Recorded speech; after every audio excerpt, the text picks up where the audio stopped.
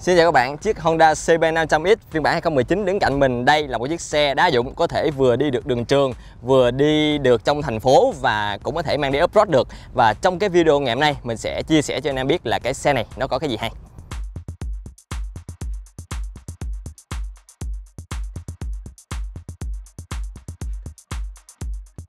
Về tổng thể thì cái thiết kế của chiếc xe này nó được thừa hưởng từ cái chiếc Ariga Twin và nó là một cái chiếc xe mang cái phong cách Adventure và lai một chút với lại là Touring. Nhìn từ phía trước thì nổi bật nhất chính là cái phần đầu đèn được nằm gọn gàng bên trong một cái phần mỏ vịt như thế này. Hệ thống đèn của xe là loại LED và nó được chia làm hai tầng. Tầng trên là đèn cốt và tầng dưới là đèn pha. Hai bên này là có hai cái mi LED, đó chính là cái đèn đầy mi và nó giúp làm cho cái đầu đèn nó trở nên cá tính hơn nằm ở gọn gàng hai bên này chính là hai cái xi nhan dùng công nghệ led và nó thay cho cái loại halogen ở đời trước. Thì ở đây nó có một cái kính chắn gió khá là lớn, tác dụng thứ nhất là làm tăng tính khí động học của chiếc xe. Thứ hai là nó giúp giảm gió bạc vào người khi mà lưu thông trên những cái hành trình dài thì nó sẽ giảm bớt mệt mỏi cho cái người ngồi lái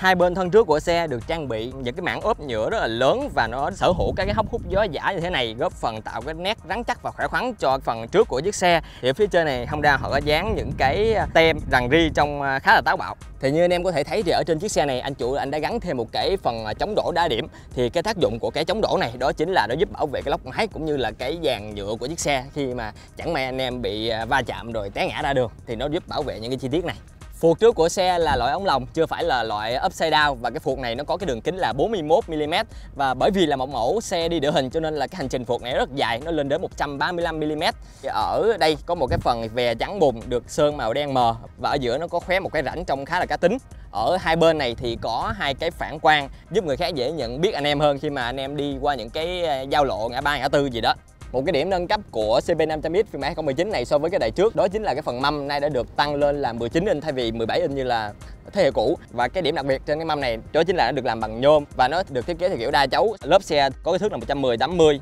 thì ở phía trước này được trang bị một cái phanh đĩa đơn với kích thước là 310 mm sử dụng cái cùm phanh ờ, của Nissin hai piston. Thì cái cùm phanh này nó được tích hợp luôn với công nghệ ờ, chống bó cứng phanh ABS anh em có thể thấy là cái vòng mắt đọc ờ, ABS nằm ở đây. Di động của xe được thiết kế rất là rộng và nó được sơn màu đen mờ. Ở bên trái thì chúng ta có cái cùm công tắc bao gồm phím còi, rồi phím đèn cốt pha. Ở dưới đây thì có nút tắt mở xi nhan và phía trên này là nút đèn passing. Trong khi đó là ở bên phải chúng ta có nút tắt mở động cơ, nút đề máy và ở đây bổ sung thêm nút báo đèn khẩn cấp hazard. Thì ở trên cái chiếc xe này nó có một cái tính năng đặc biệt đó chính là khi mà anh em mà bóp phanh khẩn cấp và dừng lại đột ngột á thì cái hệ thống đèn hazard của xe nó sẽ tự động kích hoạt và lúc này là bốn cái xi nhan trước và sau sẽ liên tục nhấp nháy để cảnh báo cho các phương tiện khác là anh em đang gặp một cái tình huống gì đó khẩn cấp ở bên phải này chúng ta có một cái tay phanh và nhờ được uh, trợ lực dầu cho nên là cái cảm giác bóp phanh nó khá là nhẹ và nhanh nhạy. Ở đây anh em có thể thấy một cái vòng tròn nó ghi cái số từ 1 đến 5 nó có chức năng đó là điều chỉnh độ xa gần của cái phanh so với cụm tay lái ở đây tùy vào độ ngắn dài của ngón tay anh em mà anh em chỉnh sao cho nó phù hợp. Thì tương tự như là những cái mẫu xe khác của Honda trong thời gian gần đây thì trên chiếc CB500X phiên bản 2019 này nay đã được trang bị cái đồng hồ LCD với kích thước lớn trong khá là đẹp và cái màn hình này là cái màn hình màu. Nó hiển thị rất là nhiều cái thông tin khác nhau chẳng hạn như là vòng tua rồi à, số đang gài uh, ờ, mức nhiên liệu mức tiêu hao nhiên liệu trung bình rồi thời gian uh, ô đô chip cũng như là tốc độ. Ở bên ngoài cái màn hình thì có những cái đèn như là báo số mo rồi đèn báo thay nhớt đèn ABS và cả đèn cốt pha đây.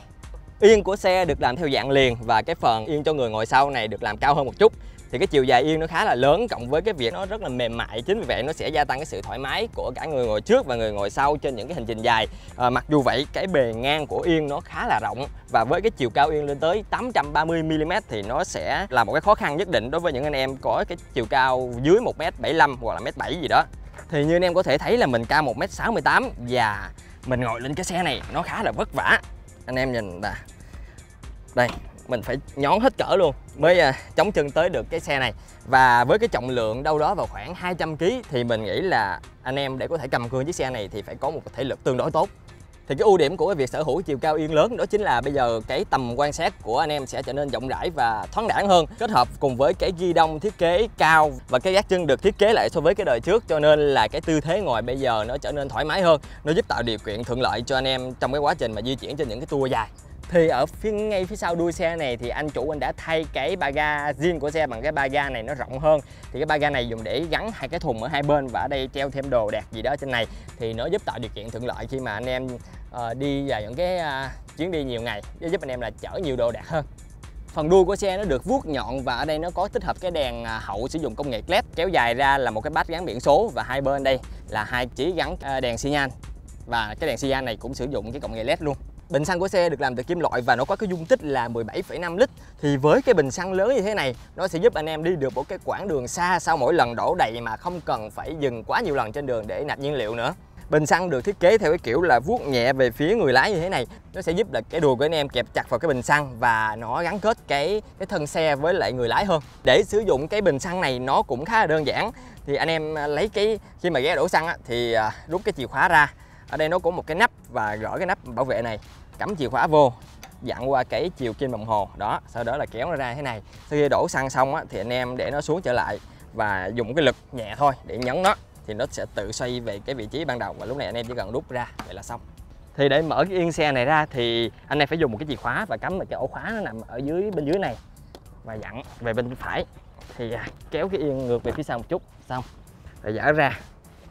thì ở bên dưới cái yên này là có cái à, hộp cầu chì, rồi cái sơ đồ cầu chì để cho anh em biết là khi mà cái hệ thống đèn điện của xe nó có hư hỏng á, thì anh em có thể là dễ dàng biết là nó bị hỏng ở cái bộ phận nào và dễ dàng thay thế. Ở đây thì có cái bộ e và dưới này là một cái à, khoảng à, trống để anh em có thể để vừa một cái bộ đồ nghề với cả là có thể để thêm một cái áo mưa nhỏ hay gì đó cái phuộc sau là dạng à, lò xo trụ đơn ProLink điều chỉnh 5 cấp thì cái hệ thống phuộc này nó được thiết kế để liên kết gián tiếp với cái phần khung xe cũng như là cái gấp sau giúp uh, gia tăng hiệu quả giảm chấn cũng như là khả năng vận hành tùy vào từng điều kiện khác nhau. Thì khi lò xo bị nén thì cái lực từ gấp nó giúp đẩy cái bánh sau ép xuống mặt đường từ đó thì giúp gia tăng cái độ bám một cái lợi ích khác của cái phuộc ProLin này, đó chính là nó tăng cái khả năng phân bổ trọng lượng của xe. Bởi vì cái vị trí phuộc nó được đặt gần ngay với cái trung tâm của thân xe. Thì gấp sau của xe là cái dạng gấp đôi, mâm sau có cái đường kính là 17 inch, sử dụng cái bộ lớp kích thước là 160 60 thì ở bánh sau này sử dụng cái đĩa phanh đơn với cái cùm phanh Nissin một piston, thích hợp luôn cái công nghệ chấm bố cứng phanh ABS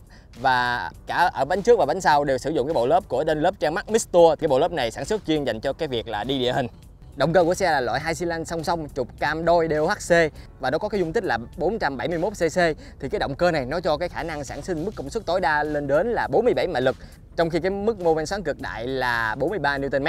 Thì hộp số của xe là loại à, cung tay 6 cấp và nó được trang bị cái bộ ly hợp chống trượt hai chiều Slipper Clutch Up and Down. Thì cái trang bị này nó sẽ giúp anh em hạn chế cái tình trạng mà trượt bánh sau khi chuyển số để chuẩn bị ra hoặc là vào cua đồng thời giúp cho việc ờ, bóp cơm trở nên nhẹ nhàng hơn thì ngay bên dưới này là anh em có thể thấy cái vị trí của cái bộ phận tản nhiệt của xe, đó là cái hệ thống làm mát bằng à, dung dịch. Ở đây thì chưa được gắn cái bảo vệ các nước. Ngoài ra thì à, anh em chơi xe có thể cân nhắc tới cái việc độ thêm cái mỏ cày để nó bảo vệ phần cổ bô cũng như là cái bộ lọc dầu hay là động cơ bên trong cái bô xe được thiết kế theo kiểu là hai họng xả một to và một nhỏ. Nó giúp tạo điểm nhấn cho cái bô này hơn giúp nó trở nên phá cách chứ không đơn điệu như là ở cái thế hệ trước. Mình thấy thì cái kiểu thiết kế này nó nó hao hao như là cái đàn em à, CBR 250R cái phiên bản ra mắt hồi năm à, 2017 thì ngay vị trí họng xả của xe đó chính là hai cái phần ống bô được dẫn dài ra và nó thiết kế lộ thiên ra bên ngoài à, dẫn đến một cái bầu bô ở đây và kéo dài ra cái hệ thống bô phía sau bởi vì là một cái chiếc xe đa địa hình, cho nên cái khoảng sáng gầm nó rất là lớn, nó lên đến 180 mm thì cái khoảng sáng gầm cao như thế này nó sẽ giúp tạo điều kiện thuận lợi trong mà khi mà anh em di chuyển trên những cái cung đường khó và nó mấp mô. Thì cũng tương tự như là nhiều cái mẫu phân khối lớn khác, sơn xe cũng được thiết kế lộ thiên ra bên ngoài thế này. Thì cái sơn này nó đòi hỏi anh em phải thường xuyên vệ sinh sơn thì à, đi lâu ngày thì cái bùn đất nó sẽ bắn lên và nó khiến cho cái sên này nó bị rỉ và lúc đó thì anh em phải tốn tiền để thay sên mới nữa đó là tất cả những gì mà mình muốn chia sẻ với anh em về cái chiếc Honda CB500X phiên bản mới này. Nếu anh em thấy video hay thì nhớ like, share và subscribe kênh youtube của xe tinh tế. Bây giờ thì cảm ơn các bạn, mình là Minh Trí ND đến từ diễn đàn tinh tế.vn.